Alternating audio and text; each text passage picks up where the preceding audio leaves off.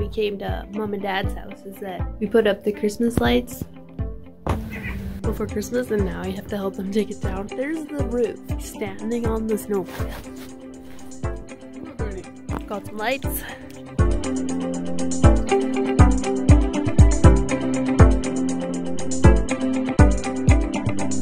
It was pretty cold over the winter holidays, what, minus 30, and you just touched it and it broke. Just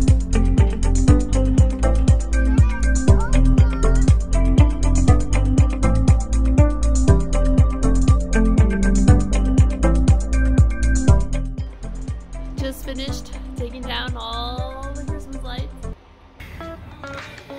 It's kind of a disaster because when you take them down, they all get tangled. Each little string untangled. Otherwise, they'd probably end up in the garbage because they're so tangled and definitely don't want to throw it in the garbage. Adam just walked in here and he's like, isn't it cheaper to just throw them out and buy new ones next year? No, it isn't because to the planet. Bad person to the planet, Adam. 240.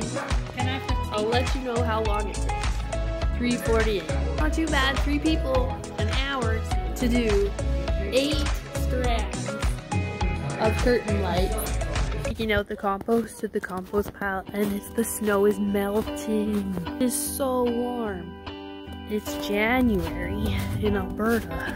Nice thing about living here in the winter is that you get that wintry feel, but you also get Chinooks every once in a while, so feels like spring is coming. It starts to get nice. May Long Weekend, it always snows on May Long Weekend. If you live in Alberta, you know that it May Long Weekend is snow, and then after that, it's usually you're good. Should we go back inside? Should we go? Should we go inside? Who wants to go inside?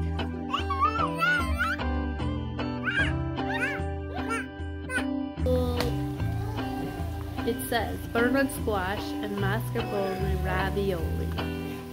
Chicory root extract. Oh, should be good.